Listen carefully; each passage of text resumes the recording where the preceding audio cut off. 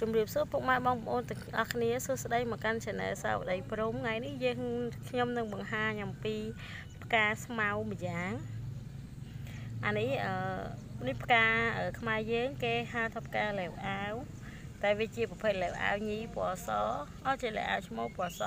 បើលេវអាវពណ៌ញីអឺពណ៌ស្វាយឬក៏ពណ៌ផ្កាឈូក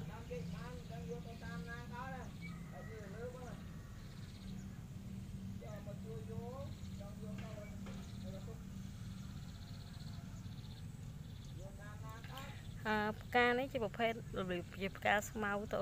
វាអត់សូវដើមវាអត់សូវធំហ្មងទេតូចតូចនៅពេលដែលវាផ្កាមួយមួយវាអត់សូវស្អាតទេតែបើផ្កាច្រើនវាស្អាតប៉ុន្តែខ្មែរយើងលើបើតាខ្ញុំដឹងគេថានេះជាប្រភេទថ្នាំខ្មែរម្យ៉ាងដែរប៉ុន្តែព្យាបាលជំងឺអីខ្ញុំក៏អត់ដឹងដែរអូខេនេះជាផ្កាស្មៅផ្កាលាវអាវឈ្មោល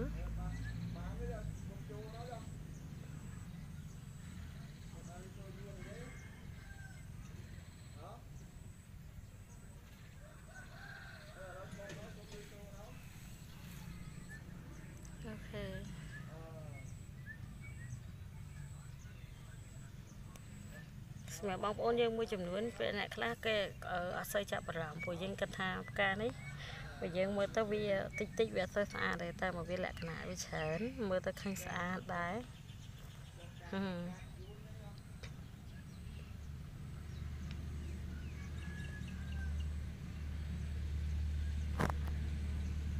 ផ្កាលាវអាវ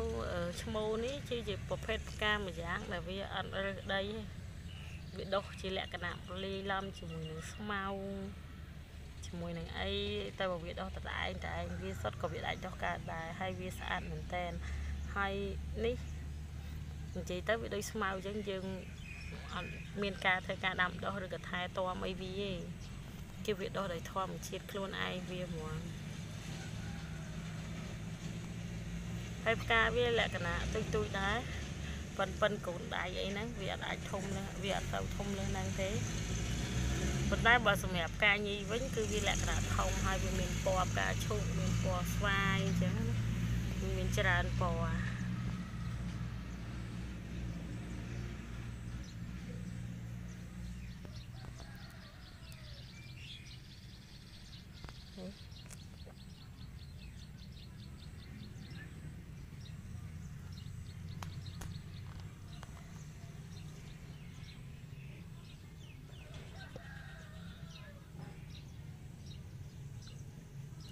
ផ្កាតូចតូចហើយតែវាមានលក្ខណៈស្អាតហើយផ្កានេះបើសិនជាយើងយកវាកាច់វាយកទៅដាក់ថោឬក៏តុបតែងវាក៏វាស្អាតដែរគ្រាន់តែថាអឺយើងអត់ដែលពេញនិយមសូវប្រើអញ្ចឹងអញ្ចឹងយើងអត់ដឹងថាវាយកមកធ្វើអីគឺ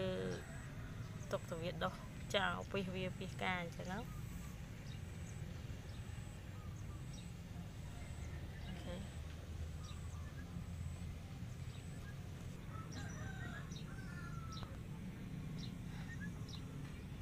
ក៏ពិតខ្មែរយើងមានប្រភេទផ្កាផ្លែផ្លែជាច្រើនប៉ុន្តែភាគច្រើនយើងអត់សូវចាប់អារម្មណ៍ប៉ុន្តែបរទេសផ្កាភាគច្រើននិយាយទៅឲ្យតែផ្កាគេអាចឆ្នៃយកទៅធ្វើនេះធ្វើនោះដាក់តាំងលម្អផ្ទះអីចឹងបានណាតែសម្រាប់ខ្មែរយើងយើងជឿទៅតែផ្កាណាធំធំផ្កាណាស្អាតស្អាតជាពិសេសផ្កានាំចូលវិញអញ្ចឹងផ្កានៅក្នុងស្រុកយើងវាអត់សូវចាប់គេអត់សូវចាប់អារម្មណ៍អញ្ចឹងណាអូខេនេះស្អាតមែនតើនេះនៅពេលវាដោះច្រើនស្អាតអឺនៅលើវាស្មៅមានមេម្បៅមានអី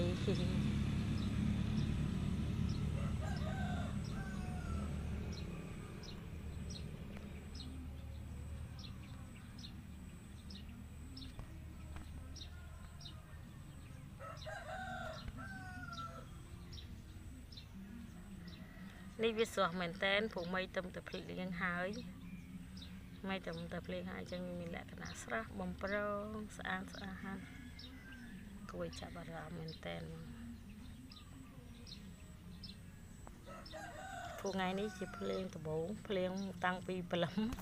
រហូតដល់ស្មើនឹងត្មោរហូតដល់ថ្ងៃអញ្ចឹងទៅអឺផ្កាទាំងអស់ពេលដែលត្រូវទឹកភ្លៀងគឺវាល្អមែនតែន